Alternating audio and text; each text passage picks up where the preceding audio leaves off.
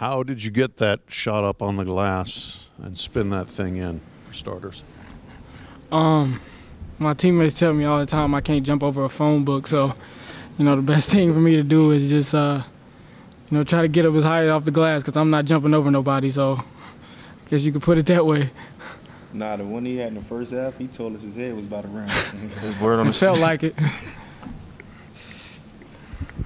Arthur, you guys are down 41-30 right before you make that 11-0 run. What was kind of said in that timeout just before that?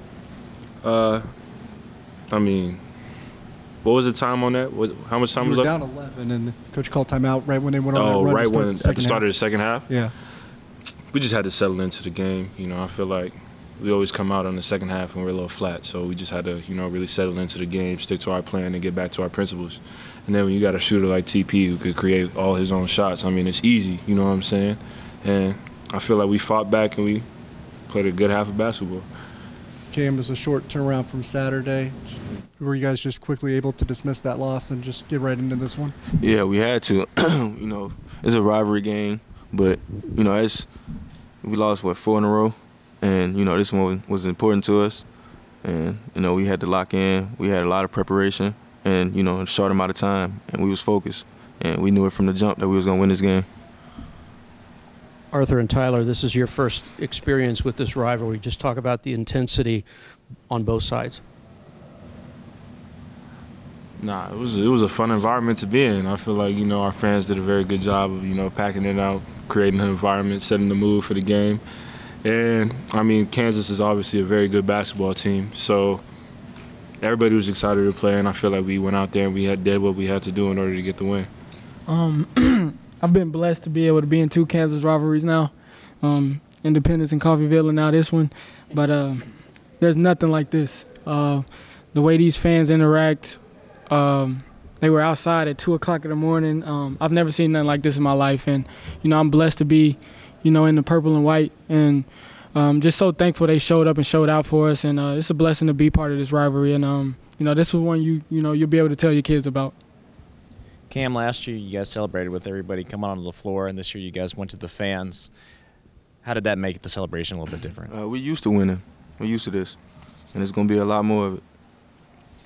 And uh, Tylor, um, I meant to ask this after last game, but your second half scoring is just on an incredible tear right now. I think 18, 20, whatever it was tonight, 21, I think, after halftime. Just what is it that kind of goes on that makes you, uh, I don't know, see the bucket better there after halftime?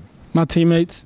Um, I can't put it nowhere else. Uh, they just they tend to find me, um, and they find me in the first half too. Um, you know, it's no science on it. It's no fairy dust to it. It's just you know, just you got to stay uh, over the course of 40 minutes. You got to stay into the game. You got to stay locked in, and um, you know, just let I, I try to let the game come to me.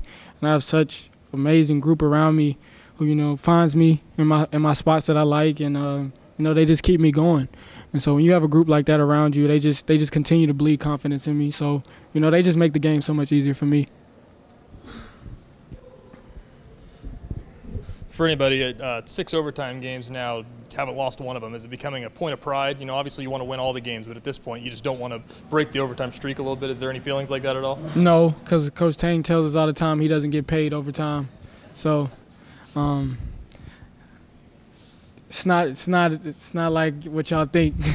we um you know we try to get the job done in 40 minutes, but um, this team is so resilient, and uh, you know we preach toughness, and so.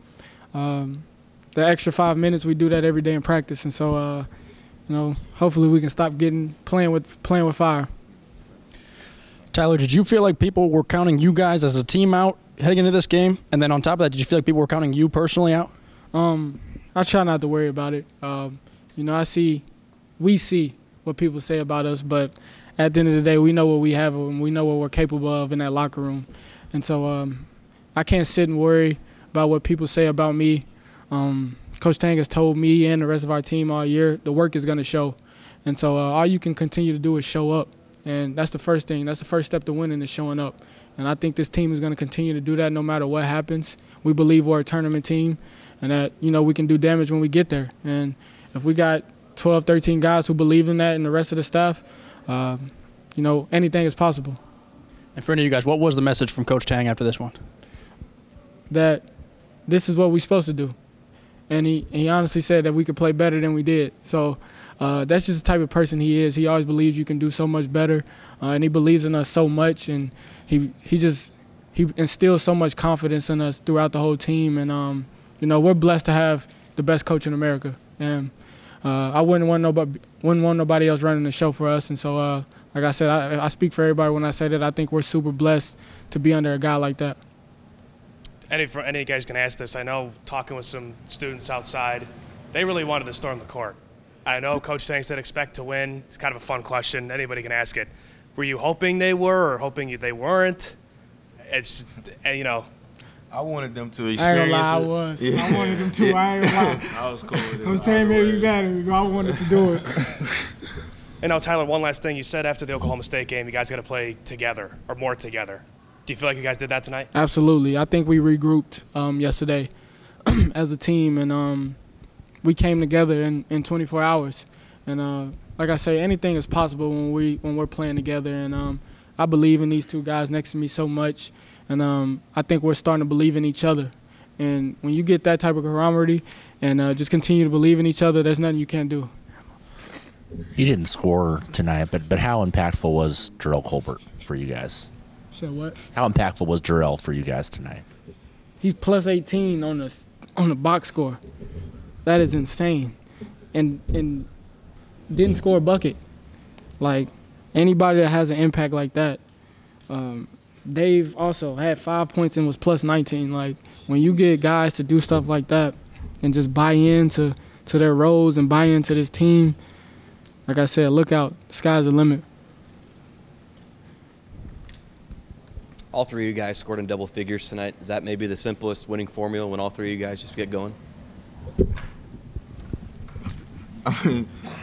Yeah. Um, on any given night, um, any I feel like any one of us can get going, and um, when you got all three of us going like we like we were tonight, I think we're a very tough team to beat. But you know we don't get going without plus 18 from Jerrell or plus 19 from Dave or you know Will coming in and doing what he's doing. Day Day playing valuable minutes. Like it's so easy for us to take credit, but we just have such a such a great group around us. They make it easier for us, and um, you know we've preached that all year, and so you know our job is to make it easy for them, and vice versa. And so we just you know try to do that every night.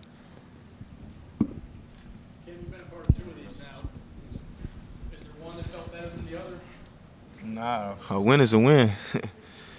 That's all I got. Yeah, Any guesses what Aggieville's going to be like tonight? I wouldn't wouldn't know. well, yeah, I, now we.